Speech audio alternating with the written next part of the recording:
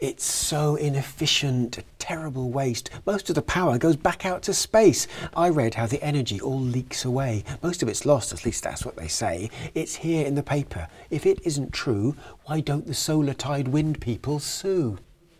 A friend of a man who I actually know met a man on a train who confirmed it so. Look, I don't reject things just because they are new, but I do have a right to an unchanging view.